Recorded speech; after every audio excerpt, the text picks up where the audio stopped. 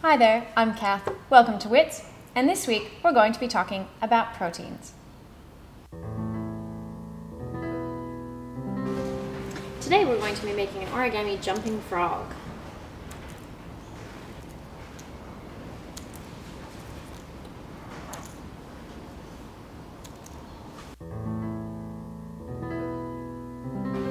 To make our origami frog, all you need is a square of paper. I've used green, but you can use whatever color you'd like. If you have origami paper, you can use that. Otherwise, just cut a regular piece of paper into a square. So the first thing we need to do is make our square into a triangle. So we're going to meet two points together and fold it into a triangle shape. Open it up again, turn it around, and do the same thing in the other direction. So meeting the other two points of our square to form a triangle. Open it up again, and now we're going to fold it in half. But instead of making a triangle, this one should make a rectangle shape. Now what we're going to do is put all those folds together to make it into a triangle shape again. So open it up, and what you're going to do is fold in on those folds that you've made on one side and fold in as well. This is a kind of tricky bit, so you might need to practice a couple times. And we'll end up with a triangle shape that has two flaps on each side. Lay it down flat, and we're going to make the front legs. To do that, take the top flap on one side and fold it up. You'll fold it at a bit of an angle so that the foot sticks out from the body. Do the same on the other side. And you now have your front legs. To make the back legs, we need to turn it over and fold these flaps down.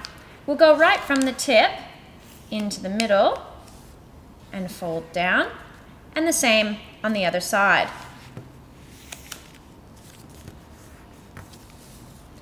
Now what we need to do is fold those back out again, but not all the way.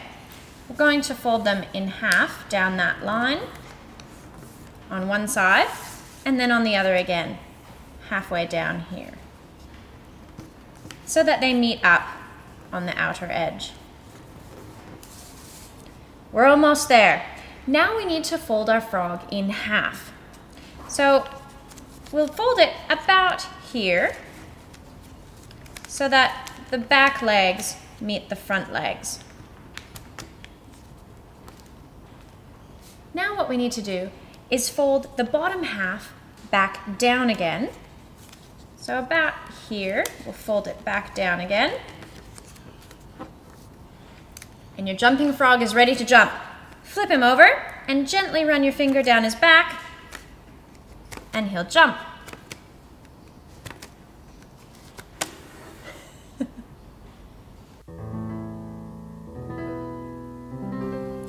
Bodies are made up of trillions and trillions of tiny little things we call cells. Inside those cells are lots of different proteins that do different jobs to make sure that our bodies work properly. To do that job, each protein has to be a very special shape. For example, hemoglobin, which carries oxygen through our body, needs to be the right shape so that oxygen can fit inside. If you think of a child's toy, you need to fit the square block into the square hole, but it won't fit into the circle hole or into the triangle hole. Our proteins work in very much the same way. To get that special shape, our proteins are folded, very much like our frog. If it's not folded correctly, if we miss a fold, or a fold is done wrong, those proteins won't be the right shape and they won't work properly.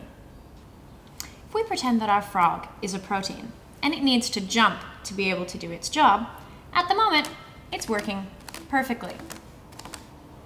However, if we miss a fold, for example, the very last one, we end up with a frog that's not the right shape and won't jump at all. It's the same with our proteins. If they're not shaped quite right, then they won't work.